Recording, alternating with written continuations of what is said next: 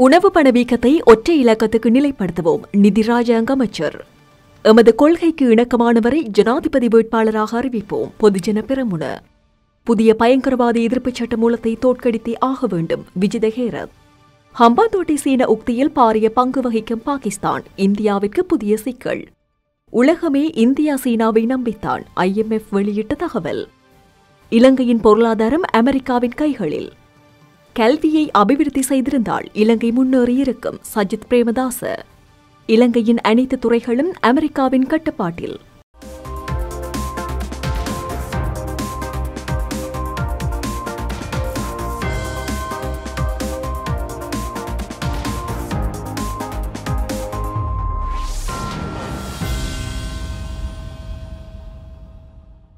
பொருளாதார மீழ்ச்சிக்காக அரசாங்கம் எடுத்த தீர்மானங்கள் வெற்றி பெற்றுள்ளன. அடுத்த ஆண்டு முதல் காலாண்டுக்குள் உணவு பணவீக்கத்தை ஒற்றை இலக்கத்துக்கு நிலைப்படுத்துவோம் என நிதி ராஜாங்க அமைச்சர் ஸ்ரீகாந்த் சேமசிங்க தெரிவித்துள்ளார்.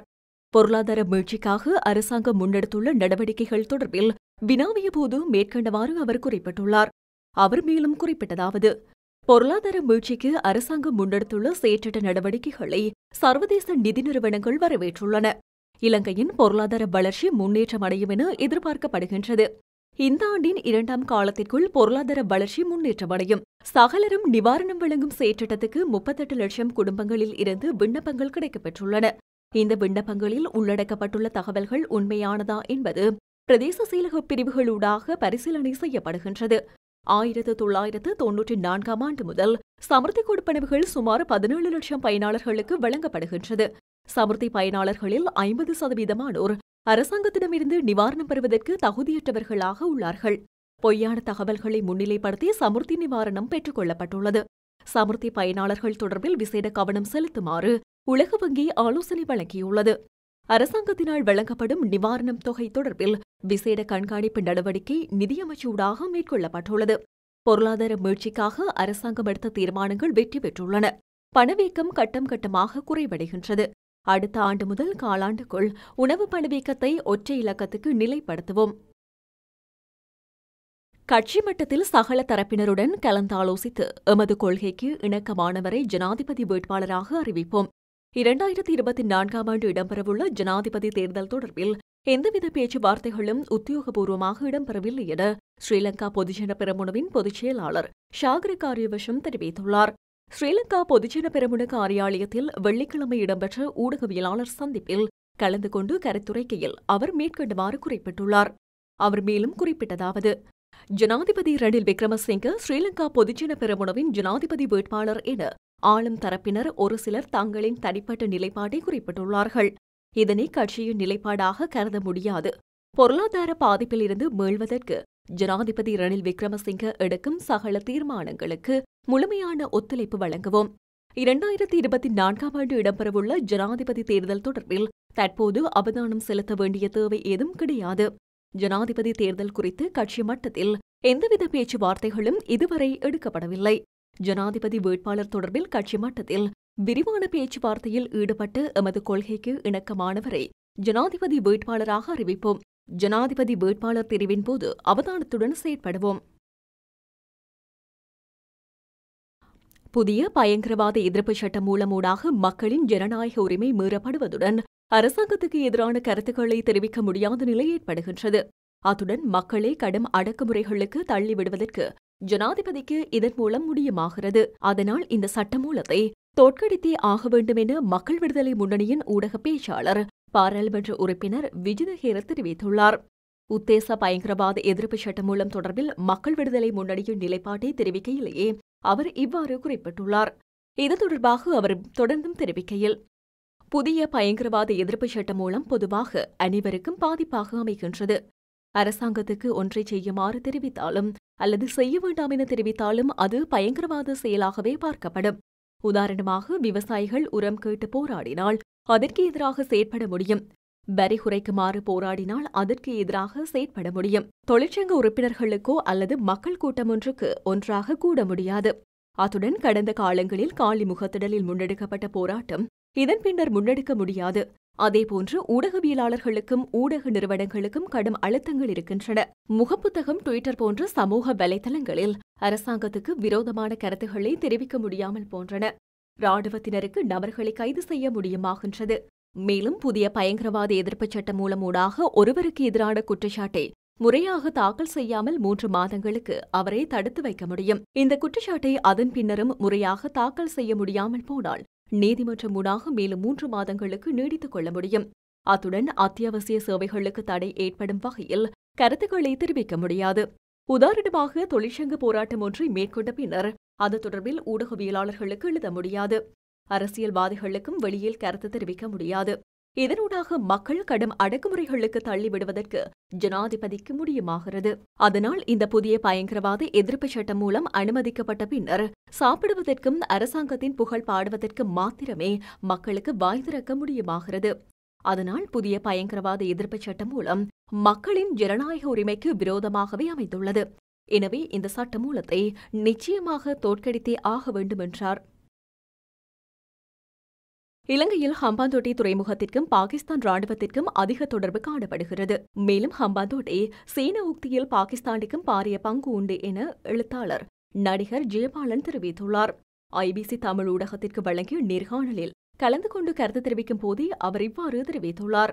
இதன்போது மேலும் கருத்து தெரிவித்த அவர் சீனா தனது இரண்டாவது கூட்டாளியாக ரஷ்யாவை கொண்டுள்ளது போல் இந்தியாவை தனது இரண்டாவது கூட்டாளியாக மாற்ற அமெரிக்கா முயற்சிக்கின்றது.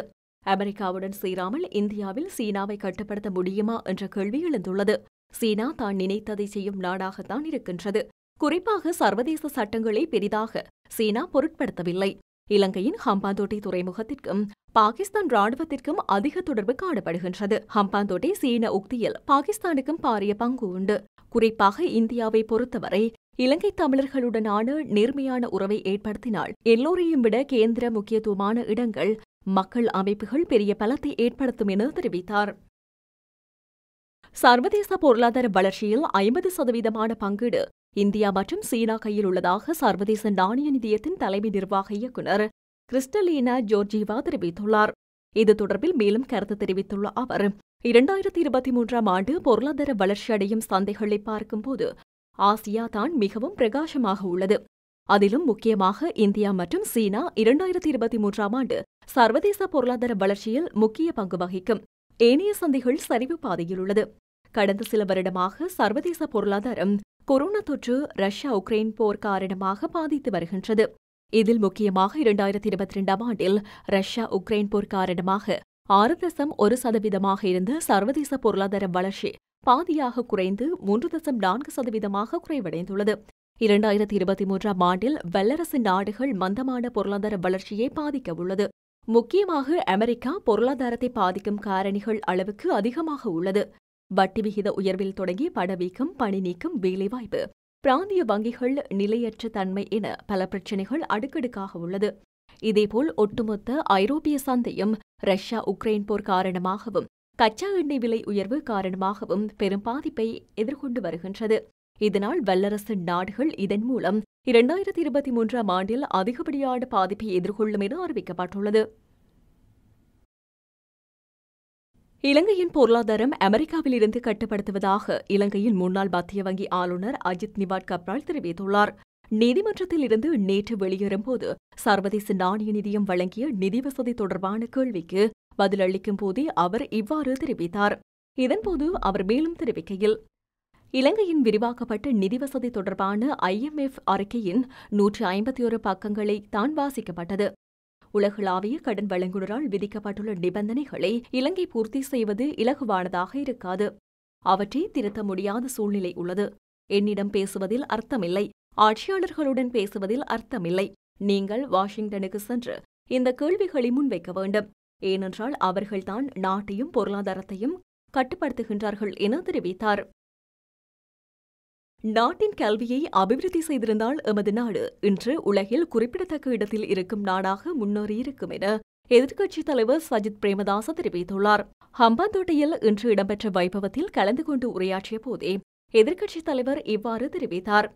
இதன்போது மேலும் உரையாற்றிய அவர் நாட்டின் நிலைமை நன்றாக உள்ளதாக தலைநகர் குறுந்துவத்தை குளிரூட்டி அறைகளில் இருந்து கொண்டு கூறும் நபர்கள் நாட்டின் உண்மை நிலையை அறிய குளிரூட்டி அறையை விட்டு வெளியேறிய கிராமம் தோறும் மூலை முடுக்குகளுக்கு சென்று பார்க்க வேண்டும். நாட்டில் உள்ள சில பாடசாலைகளை பார்த்தால் இடிந்து விழும் கட்டடங்களைத்தான் காண கிடைக்கிறது.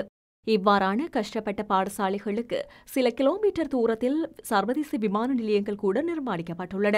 சர்வதேச விமான நிலையங்களில் நிர்மாணிப்பதற்கான பணத்தில் ஒரு சிறிய பகுதியை ஒதுக்கி நாட்டின் கல்வியை அபிவிருத்தி செய்திருந்தால் எமது நாடு இன்று உலகில் குறிப்பிடத்தக்க இடத்தில் இருந்திருக்கும் என்று கூறியுள்ளார். அமெரிக்காவின் கட்டுப்பாட்டில் இலங்கை உள்ளதாக மத்திய வங்கியின் முன்னாள் ஆளுநர் அஜித் நிவாட் கப்ரால் தெரிவித்துள்ளார். இலங்கையின் பொருளாதாரம் மற்றும் அரசியலையும் அமெரிக்கா முன்னெடுப்பதாக அவர் குறிப்பிட்டுள்ளார். மத்திய வங்கி ஆளுநரும் நாட்டின் தலைவர்களும் கவனத்துடன் செயற்பட வேண்டும் என கப்ரால் மேலும் கூறியுள்ளார். ஊடகவியலாளர்கள் எழுப்பிய கேள்விக்கு பதில் வழங்கும் போதே முன்னாள் ஆளுநர் இதனை கூறியுள்ளார்.